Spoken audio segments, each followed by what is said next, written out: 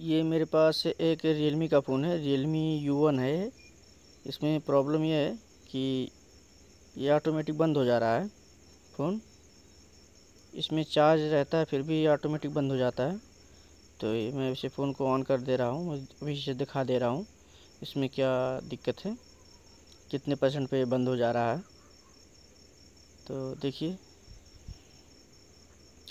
देखिए बंद हो गया है। जैसे हम कुछ इसमें करते हैं कुछ भी अगर जैसे यूज़ करते हैं तो तुरंत ही बंद हो जा रहा है। तो अभी मैं चार्ज लगा के दिखाऊँगा, इसमें कितना परसेंट चार्जिंग है। ये फिर भी बंद हो जा रहा है। तो देखिए, अभी मैं चार्ज लगा दिया हूँ, केबल लगा दिया हूँ, चार्जर केबल। तो अभी देखते हैं कितना परसेंट चार्जिंग है इसमें। देखिए, अभी इसमें चौरानवे परसेंट चार्जिंग है, ये फिर भी बंद हो जा रहा है। तो अभी मैं ऑन कर रहा हूँ फिर से। ये बहुत सा, ये प्रॉब्लम बहुत सारे मॉडल में आता है। ये हर कोई कंपनी में भी, कंपनी वाले मॉडल में भी आता है। जैसे वीवो ओप्पो एमआई सभी मॉडल में दिक्कत आता है इस तरह का। तो तो अभी मैं इसे चेक करवा दे रहा हूँ। देखिए, जैसे हम कुछ यूज़ करते हैं इसमें तो ये तुरंत बंद हो जाता है। देखिए, बंद हो गया है। अभी मैं फिर से चार्ज लगा के दिखा दे रहा हूँ।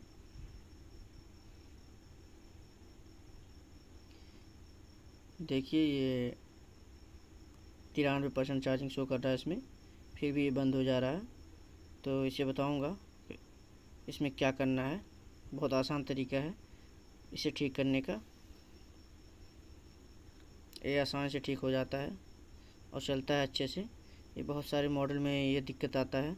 जैसे वीवो ओप्पो एम सभी मॉडल में ये दिक्कत आता है। ज़्यादातर ये रेडमी नोट एट में आता है दिक्कत ये।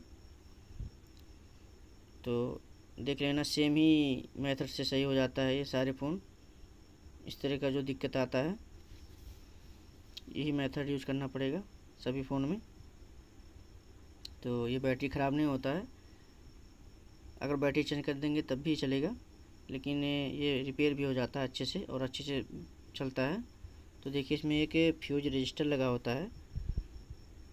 एक फ्यूज रजिस्टर लगा होता है, उसे वही फ्यूज रजिस्टर ख़राब हो जाता है, तभी ये दिक्कत आता है।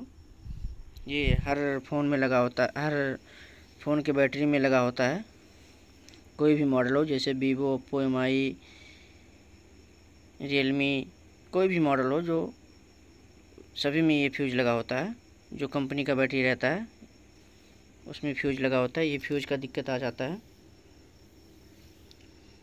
तो देखिए, ये फ्यूज में टिप लगा होता है कि कहीं शॉर्ट ना हो तो उस टिप को काट लेना है, उसके बाद में इस फ्यूज को निकाल कर देखिए ये फ्यूज है, ब्लैक कलर का होता है। उसमें के एल पी क्यू लिखा रहता है तो देख लेना। ये सभी बैटरी में रहता है ये, कंपनी के सभी बैटरी में रहता है तो इसे रिमूव कर देना है। रिमूव करने के बाद इसे जंपर कर देना है। अगर आपके पास कोई पुराना बैटरी है तो उससे भी निकाल कर दोबारा लगा भी सकते हैं।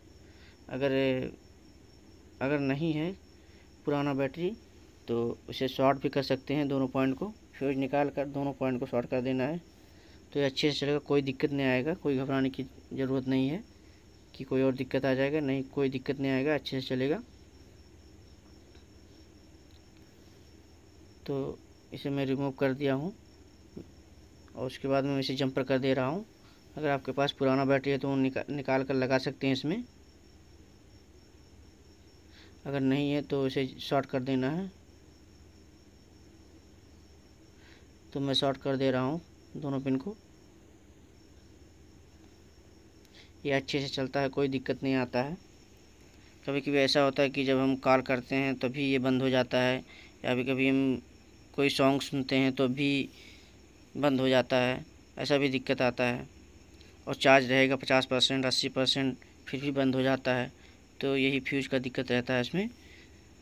तो इस फ्यूज को निकाल देना है। कोई भी कंपनी का मॉड, कोई भी मॉडल रहे, कोई भी कंपनी का फ़ोन रहे, जैसे वीवो ओप्पो एम कोई भी कंपनी का रहे फ़ोन तो सेम मेथड यूज़ कर सकते हैं तो सही हो जाएगा। तो मैं इसे जंपर कर दिया हूँ। देखिए फ्यूज रखा हुआ है। तो मेरे पास एक टिप है। तो टिप लगा देना है उसमें, ताकि कहीं शॉर्ट ना करे। कोई भी टेप हो, कोई ज़रूरी नहीं यही टेप लगाना है आपको भी। आपके पास जो भी टेप है, वो टेप लगा देना है। देखिए, ये model Realme U U one model है ये।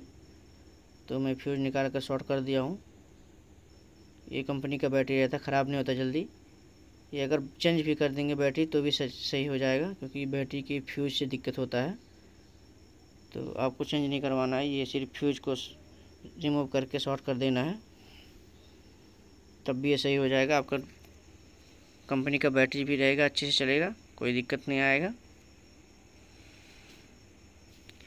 तो अभी मैं इसे ऑन कर रहा हूँ। ये अब चलेगा, अच्छे से कोई दिक्कत नहीं आएगा इसमें। पहले दो तीन सेकंड में बंद हो जा रहा था, जैसे कुछ यूज़ कर रहे थे, कुछ भी दबाने के बाद जैसे बंद हो जा रहा था।